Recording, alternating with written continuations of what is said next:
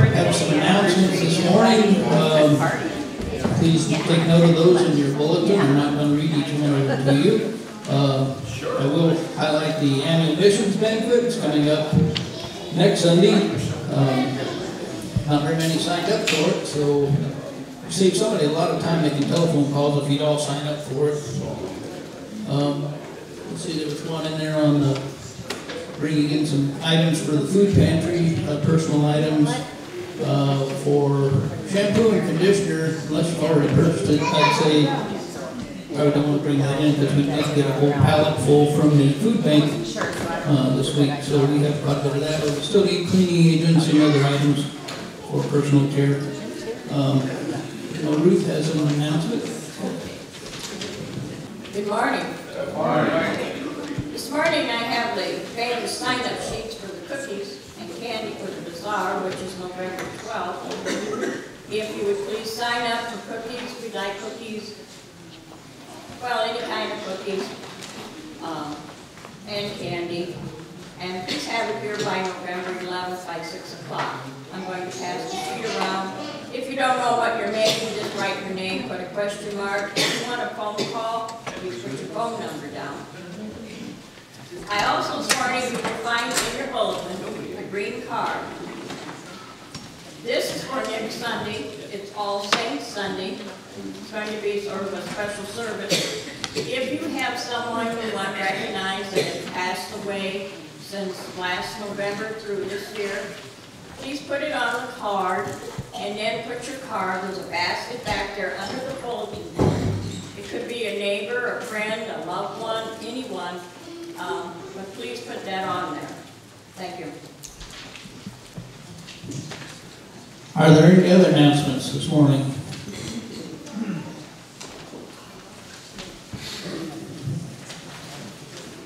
Well, if not, uh, uh, kind of favorite time of the service is the passing of the peace. We all get up and greet our neighbors.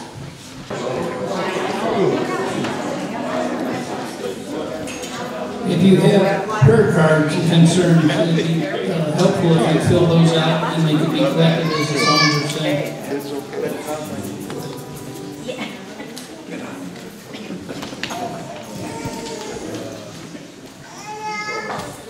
Good morning.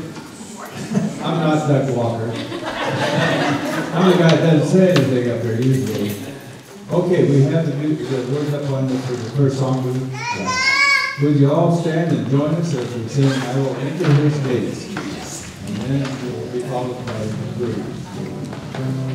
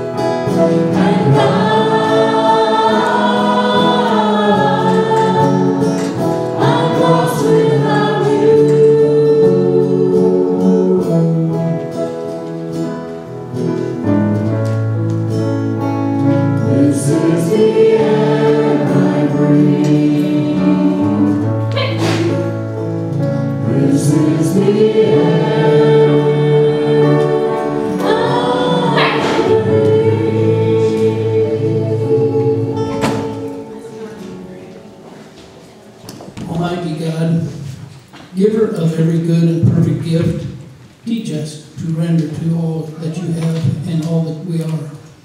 That we praise you, not with our lips only, but with our whole lives, turning the duties, sorrows, and the joys of all of our days into a sacrifice to you through our Savior, Jesus Christ. Amen. Amen. Good morning. Morning. Day is the day the Lord hath made. Let us rejoice and be glad in it. Let us rejoice and be glad because it is uh, soggy, dreary, sunshine, all right. But it doesn't have to be that way inside, does it? No. It can be sunny, bright, and warm, and inviting, and loving. That's what we're called. That's what we're called. Thank you.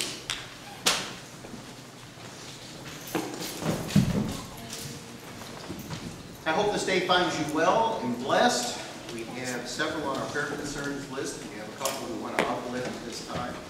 Uh, Stephanie Matthews wants to up, wants us to uplift her friend Amy, as you might have seen on the prayer concern list, that uh, she's in the hospital uh, and in isolation.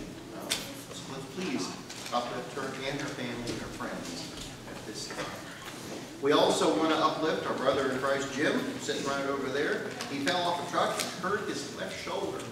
And uh, so please be real careful with him when you come up to him. And just, you know, don't, don't touch his left shoulder, just beat on the right shoulder, right? No, it's not the left shoulder. It is the left shoulder. Right shoulder. Right shoulder. Don't touch the right shoulder. Pastor Ed, Yes, could you turn your mic on? I guess I could. My apologies. I have that on? There we go. There. So, it's not the left shoulder, it's the right shoulder. Do not touch the right shoulder. Well, it's a good thing I didn't touch the right shoulder. Well, definitely praying for you. Definitely praying for you. Also, I'd like to add uh, to our prayer concern list, uh, Greg Wagner, one of my classmates and a pastor who serves on the uh, eastern side of the state. He uh, was uh, through a, lot of coincidences. He's in the uh, in isolation at IU Medical Center in uh, Indianapolis uh, from the results of a rabies uh, treatment that had gone very, very, very wrong. He apparently is allergic to the rabies vaccine and is now in a horrible state, both uh, physically, neurologically, uh, just totally messed up. Uh, And please pray for his wife, Terry. Um, They are not from Indianapolis, they come from a very small town, they grew up in a very small town, and she is very, very lost in uh, the middle of Indianapolis. So if we could please uplift Graham and Terry uh, as he is in the hospital and the doctors find a way to treat his symptoms, treat his illnesses, and, uh, and try to get through this time as he has uh, rejected the, the rabies. Let us now prepare ourselves for a time of prayer.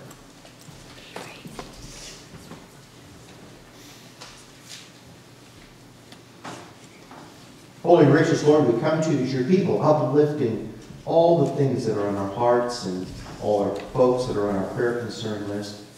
You have made us in some marvelous, wonderful ways, O Lord, and we, we celebrate that.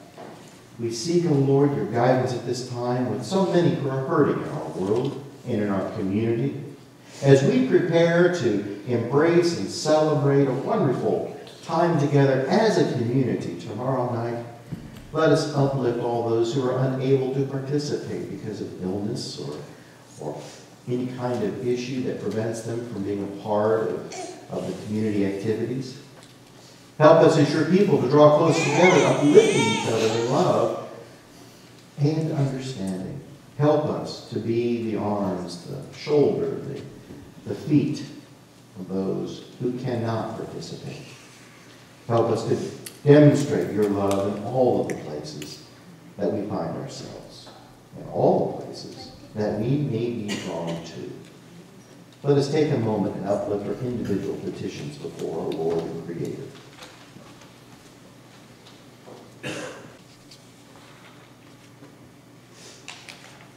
Let us now celebrate and worship and participate in worship together by saying the prayer that our Lord and Savior not only taught his disciples, but taught us as well.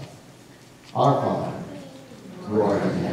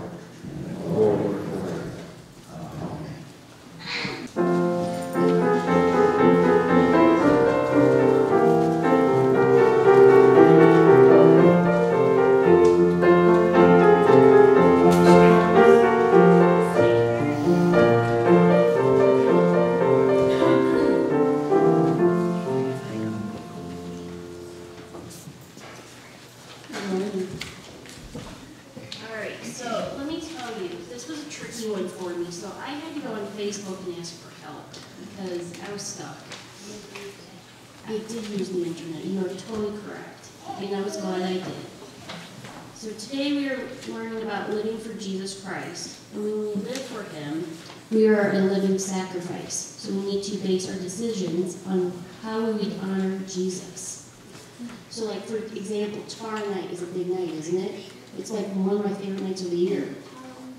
Well, yeah, and you know what? I buy like the best candy. Like, I have to go candy shopping.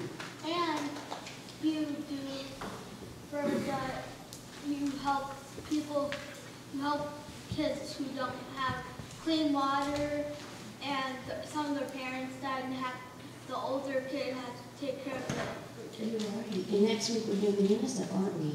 Yes, you're exactly right. And I'm glad you went on with that because part of my thing is, when you go trick or treating tomorrow night, you know what you could do? You can bring your UNICEF and then trick or treat for UNICEF, and then they'll give you money for UNICEF. Wow, you could like do, you could do my thing for me. And what else you could do while you're on that is you could collect candy for a child who can't maybe trick or treat because they have maybe a broken leg or maybe they're sick. Or they have a wheelchair, Or you can push the wheelchair. Yeah, wow, you're awesome. Thanks, you're like making this really easy for me today. Because you know, you all know how nervous I get when I get up here. Wow, I need you every Sunday that I have, I'm gonna let your mom know when I have children's dinner from now on. go every day. I know you do. Yes, but I'm making sure you're here from now on. All right, and then, you know, another thing you can do is when you say your nightly prayers, you can make sure you add people in your prayers. Like, for example, tonight, I'm gonna tell you a special prayer to say for tonight, okay? You could do that, I love that one, wow, you're awesome. Are you, what prayer are you gonna do tonight?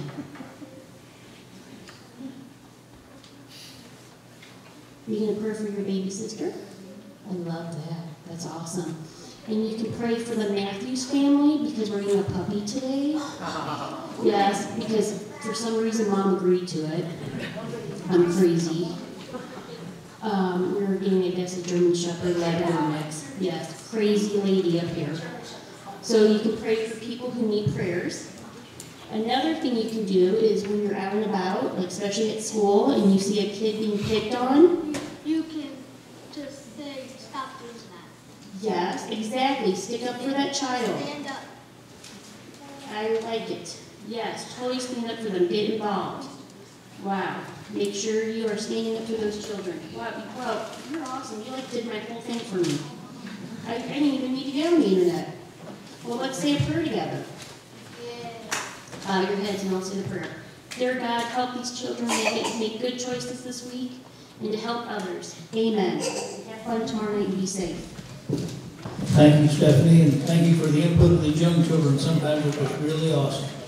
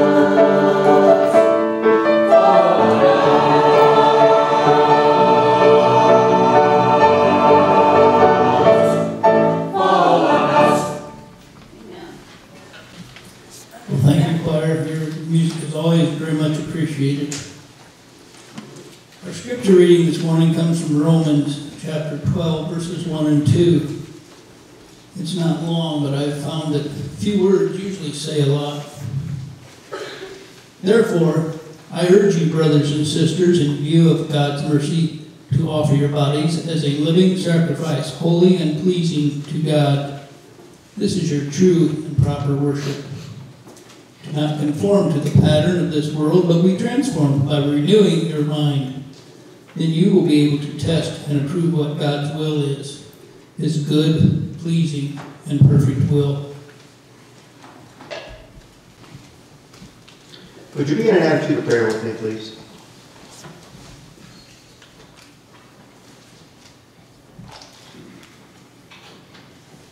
Holy and loving Lord, we gather as a, a living, breathing body of Christ. Breathe upon us, O Lord. Guide us. Help us to grow into who you believe we can be a more perfect way of living, living for you. Help us to become. Help us, O Lord, to give it all over to you. May the words of my mouth, the meditations of my heart be pleasing to you, my rock and my redeemer. Amen. How are your weeks this week? Bad? Ugly? Kinda? Well, I hope you all have blessed weeks coming. We have nothing going on tomorrow, right? Halloween? Trick or treating? Is that a big deal? Trick or treating for UNICEF. Oh, trick or treating for UNICEF. That's a big deal. Amen to that. That's all right. That's all right. Well, for two or three of us in this room, tomorrow's a big deal. For the rest of us, are we going to participate or are we going to turn off our lights and close our doors? We're participating. How many plan to have their lights on? Oh, yeah. Lights on, lights on, lights on, lights on, lights on, lights on, lights on, lights on. Okay, kids, pay attention to whose hands are up. Be certain you go there. Halloween always brings out the monsters, doesn't it? Isn't that really great? Isn't that, why we have Halloween? To see all the kids dress up as whoever they want to dress up as, and we go and give out candy, and we help the dentist in the world, and we promote, you know, all kinds of wonderful things. Um, I happen to be really partial to certain monsters and certain superheroes myself, but but how many people are fans of all the monsters of Halloween? Anybody? What's, what's your favorite monster? Werewolf. How about up here? Frankenstein. Frankenstein? Dracula? Dracula. Wow. Okay. And nobody over here. Oh, here we go. Fantastic. So, at least in this side of the room and up there we have some fans of, of different monsters. This side of the room doesn't want to have anything to do with monsters today, so okay. The, the purpose of today is to worship. And part of what we're doing here is, is if you'll recall, if you've read any of the newsletters or if you, you've been participating in any aspects of the life of the church, is that our Ed Council are leading us on a particular journey. And Sunday mornings we're going to use to help educate, uplift, and answer some of the questions about where we're going, how we're going to get there, and what does it mean. One of the things that, bless you, bless you, one of the things that we are struggling with and wrestling with right now as, as an ad council is how do we treat one another? And so you're going to be hearing about that in the upcoming weeks. And once they meet again and they, they look at how we're going to treat each other, now that might seem rather simple. You know, how do we treat each other well? We should treat each other well because we're Christians, right? Right. But what does that mean? How does it look? How do we act? What are the expectations? Last week, we had some folk join the church. They said some things that said that they would do certain things. But what does that really mean? I mean, had you ever stopped and kind of thought about it? What does that really mean? Well, today we're going to spend a little bit of time on one of those, and that is presence. Having trouble hearing? Oh, you're telling him to pay attention? Uh-oh. Presence. What does presence mean? You know, we promise to support the ministries of the church by our prayers, our presence, our service, our gifts, our witness. Presence. What does that mean? I mean, truth. What does it mean? It means that you give someone something truth, something nice, oh. grateful, thankful, and thankful. Wow. You know, you're, you're really good. Maybe you should come up here. You're, you're really good. To be present is to be here, right? Very simple about it, very direct. To be present means to be here. And specifically, it means to be in worship. For the United Methodist Church, to support the ministries means that you are present in worship, that you're physically here. Now, we have a lot of spaces, so we have a lot of room to bring in more people. Right? Right. Right. We can get excited about this. We really can. So how do we do that? Where do they come from? What's going on? I mean, today is a great example of all the spaces we have because that means that we have room. It'd be terrible if we didn't have room, wouldn't it? But we have room. So what's going on in our society? What's going on in the world around us? What's going on even in our own folks who call themselves members? What's going on with them? And I think that has a lot to do with Halloween. I mean, after all, is it bothering us to stand here for a moment? Okay, good. After all, we are in a time right now in our community where tomorrow there's going to be all kinds of goblins, ghouls, Dracula, who knows, Frankenstein's monster, the werewolf. I would think there's some Marvel superheroes that will show up. Iron Man, Captain America. Who else might be there? Superman. Superman, zombies. Zombies, yeah, lots of zombies. But you know, those characters, those people that we've come to expect at Halloween, share a lot of similarities to people that are missing Christ in their life. Now, the scripture that was read comes out of Romans, and a part of Romans where Paul is tying together a lot of themes and explaining why we need to work together as Christians.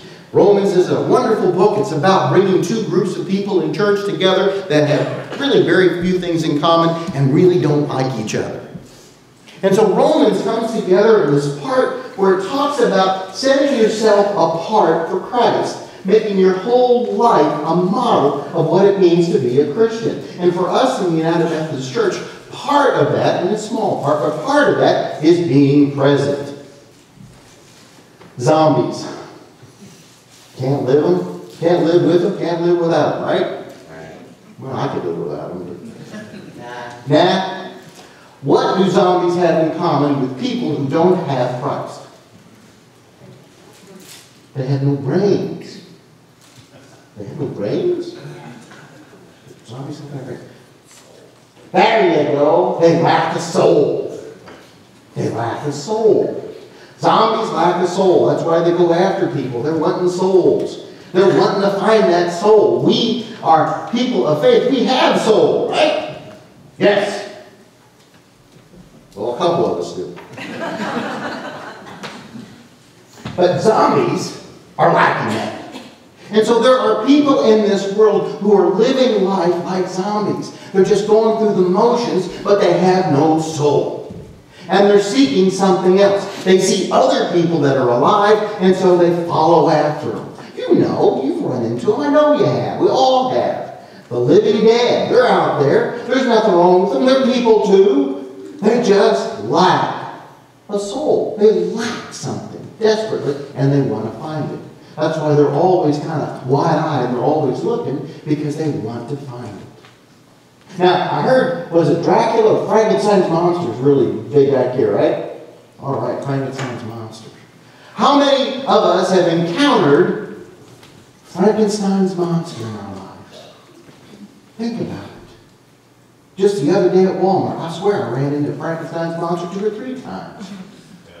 Yeah, you know what I'm talking about. And, and what is it that Frankenstein's monster has with people who don't have Christ in their life, who don't conform their life to Christ? What do we know about Frankenstein's monster?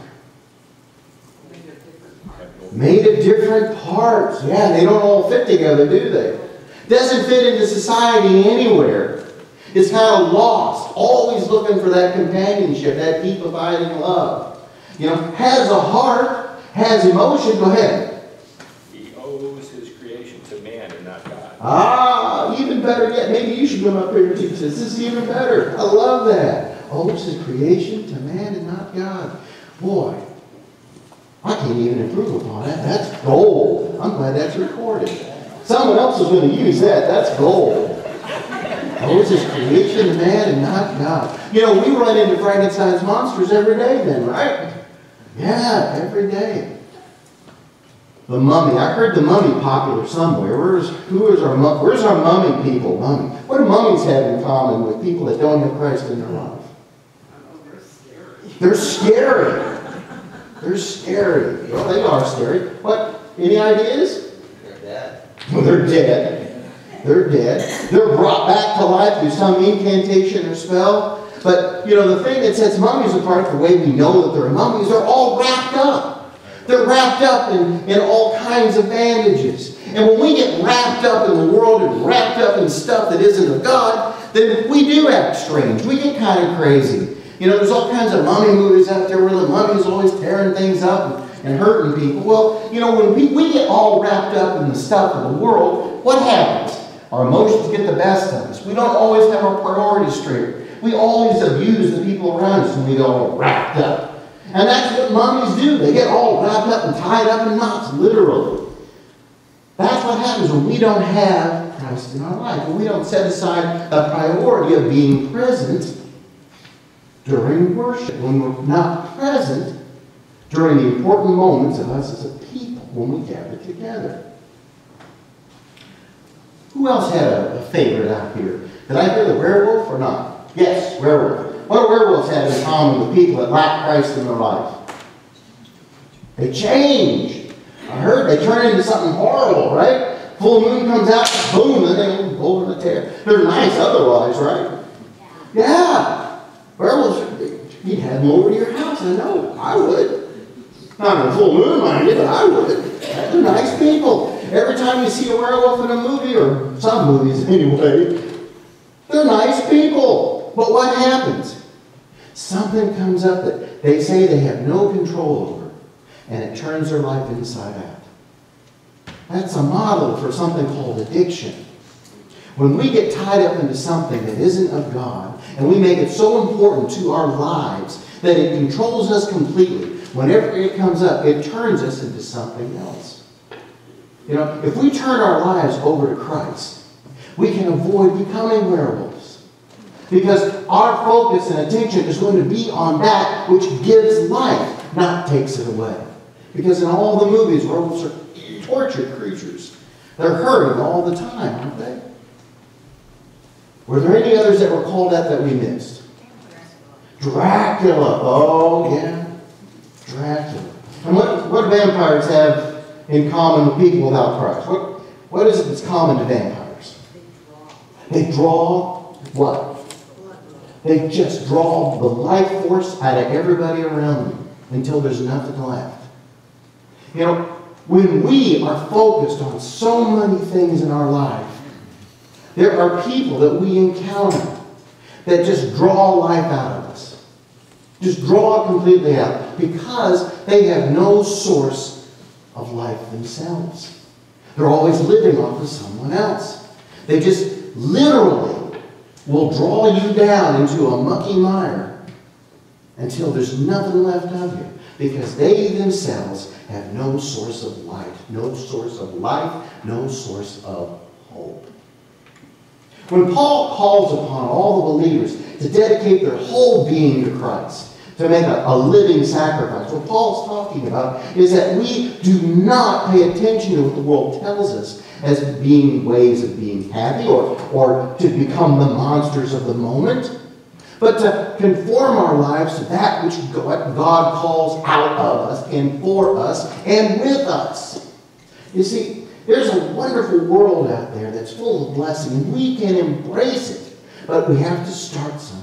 And for us as United Methodists, where we start is right here in the worship. That's one of the reasons why presence is one of the membership vows, is that there is strength in numbers. There's a way of generating a lot of wonderful things together, like love, hope, confidence. We can support one another in times of trouble. When we are having great celebrations, we uplift each other, give thanks to God for those celebrations. We're blessed by the prayers of each other. You see, we don't have to look outside of ourselves to find a source of light or strength or hope. We don't have to worry about being taken over by some outside force that's going to cause us to do things that we don't want to do. And we're not going to be subject to the whims of a world that would tell us that we're less than everybody else. Because God has made us in wonderful and marvelous ways and put us together in a way that is a blessing. Why mess that up? Think about it. Why mess that up? We always have in our control the ability to embrace what God has done or to reject it. We are not puppets on a string or automatons. We are not robots. We're human beings created in marvelous ways, set apart from all other creation, that we might do something that all other creation cannot, and that is say yes to God. And then we say no to all those other things. So, for those of us who are, who are closet werewolves, it's okay to let go of that which controls you and embrace a risen Savior. For those of us who are Frankenstein's monsters, you don't need the world to tell you who you are. God does that. For those who, who are trapped in becoming vampires, you do not need to seek any other source of light other than Jesus Christ. For the zombies, you don't need to go through the motions of daily life. You can truly live. And you don't need another person to tell you how to live. You have the blessing of a risen Savior who gives you all that you need.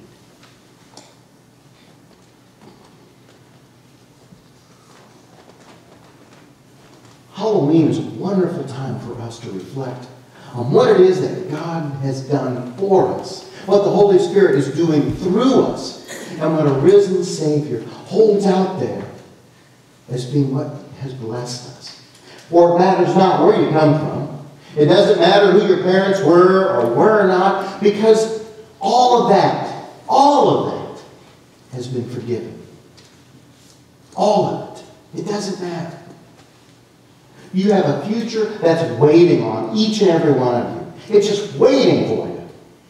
All that we are called to do is pay attention to the here and the now. And here and now, God is calling each and every one of you, both present and absent, to be counted. Here and now, each and every one of you are being called to a higher purpose, other than just going through the motions of life, but to live fully. To live, as Paul calls it, a more excellent way. Here and now, there's reasons to have hope, reasons to love, and reasons to bless others. And if you doubt anything that I said, and if you discount the entirety of the Bible, and if you completely reject everything that you've ever been taught in Sunday school, and if you completely don't want to believe in any of this, then I challenge you to deny that your actions do not affect the little ones who are gathered here before us today. They will copy and emulate what they see around them. For you are the great Play-Doh presses that put an imprint on young minds that tells them what's important and what's not important. And you have given your word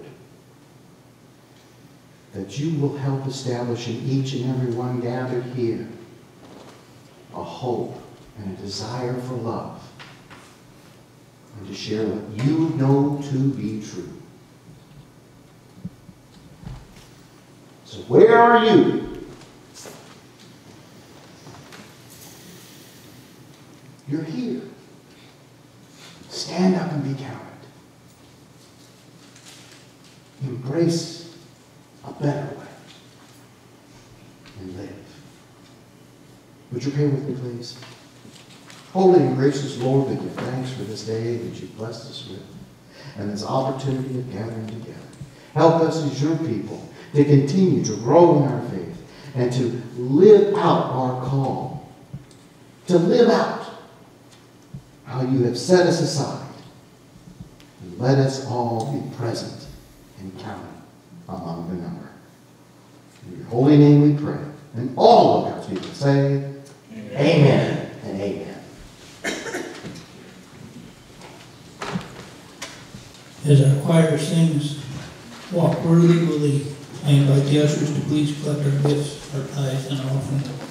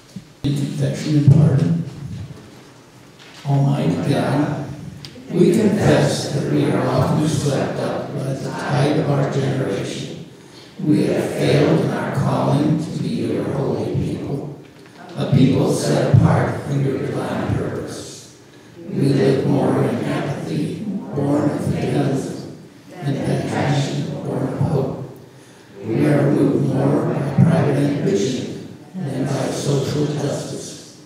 We dream more of privilege and benefits than of service and sacrifice. We try to speak in your name without relinquishing our glories, without nourishing our souls, without relying wholly on your grace. Help us to make room in our hearts and lives for you. Forgive us, revive us, and reshape us in your image. Amen. May be seated. If be in an attitude of prayer. Blessed are you, O God, who with your word and Holy Spirit created all things and called them good. In Jesus Christ, your word became flesh and dwelt among us, and through Jesus' suffering and death, you took upon yourself our sin and our death, and you destroyed their power forever. You raised from the dead this same Jesus who now reigns with you in glory and poured upon us your Holy Spirit making us the people of your new covenant. On the night, O Lord, before meeting with death, Jesus took bread and gave thanks to you and broke the bread, giving it to his disciples and saying, Take, eat. This is my body, which is given for you. Do this in remembrance of me. When the supper was over, Jesus took the cup, giving thanks to you, and gave it to his disciples, saying, Drink from this, all of you. This is my blood of the new covenant, poured out for you and for many for the forgiveness of sins. Do this as often as you drink it in remembrance of me.